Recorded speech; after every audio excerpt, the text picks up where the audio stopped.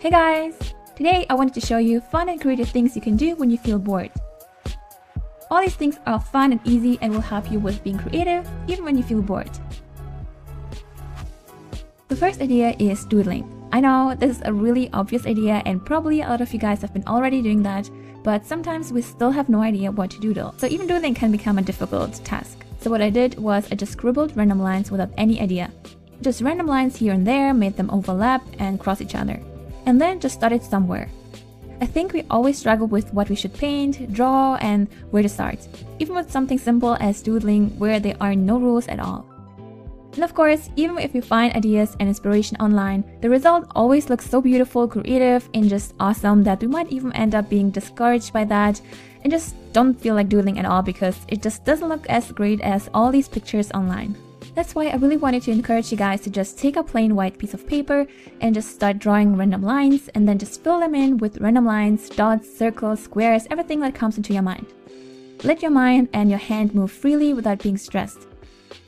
This is a great opportunity to practice doing art just for the process, not for the finished product, but just for your creative soul. I did think from time to time that this is going to look horrible, but that was the whole point of doing it, just to practice and enjoying the process. Just move your pen over the paper and see what you can create. You don't really waste your art supplies because all you need is a pen and a piece of paper. If a big sheet of paper is intimidating to you, you can also use a smaller piece of paper so you don't feel too overwhelmed with filling the whole page. You can also change up the thickness of your pen, it's great for filling in the lines you created, but also for creating a contrast. Don't worry too much, just have fun and enjoy the process. Another fun thing you could do is lettering or creating quote art. Remember when I asked you guys on Snapchat to send me in your names so I can practice lettering? I actually still have your names. For this type of art, I'm using an aqua brush, but this is not that necessary. It's just great for keeping the brush wet enough to just keep writing. But you can also just use a normal brush as well. I'm not an expert in lettering, so what I did is I went onto a site with different fonts and selected one type that I really liked you can type in any word you want and it will show you the words in the font you have chosen. For my art, I chose the quote Creativity is intelligence, having fun, but you can write anything you like, of course. What I've learned by practicing and looking at different lettering art that use similar fonts is that it's super important that when you write any letter, that the left side of the letter is thick, but the right side needs to be thin because when I first started practicing, the thickness of every line of the letter was the same, but it's really important to see the difference between thick and thin lines. And of course, it depends on the font you're using, but this is the case with the font I'm using here. If you're new to this type of art, I would encourage you to try it out as well because it's super fun and addicting. And you can create such beautiful quote art just by using a brush, some water, paint, and paper. Just get inspired by different artists and examples online and just practice while having fun. Another fun idea to create art is using plastic bags and some acrylic paint. Basically, all you need to do is cover a cutting board or something else in a similar size with a plastic bag. And then add some paint on top. You can use any color you want. Now place a piece of paper on top and press it down.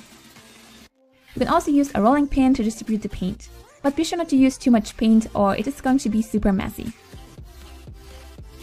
Now when you peel off the paper, you get an abstract pattern on your paper. I would recommend using thick paper because thin paper can actually rip or the top part can get stuck on the surface and rip off as well. Experiment with different color combinations and amounts of paint to see what you can achieve.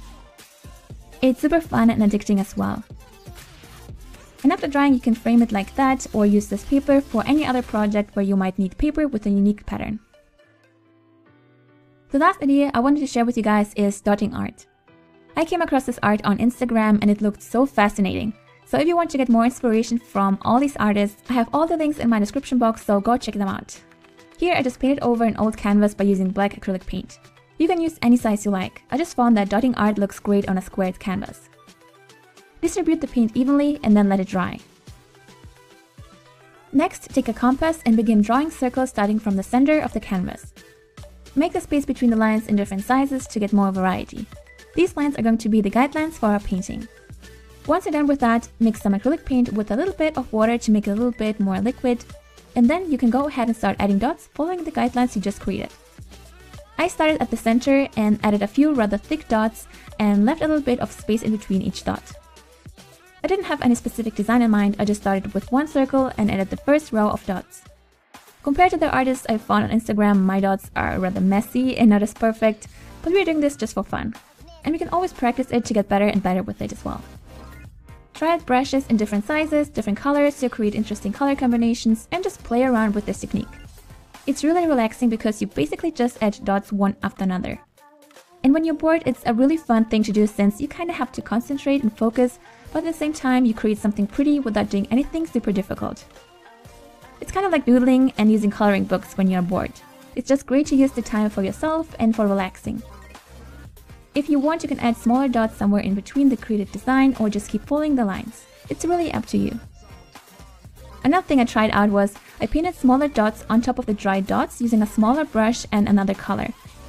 I'm not sure if I made the painting worse or better or just different, but this is also an option and the result looks interesting as well. So I hope you enjoyed this idea. Let me know what you guys think.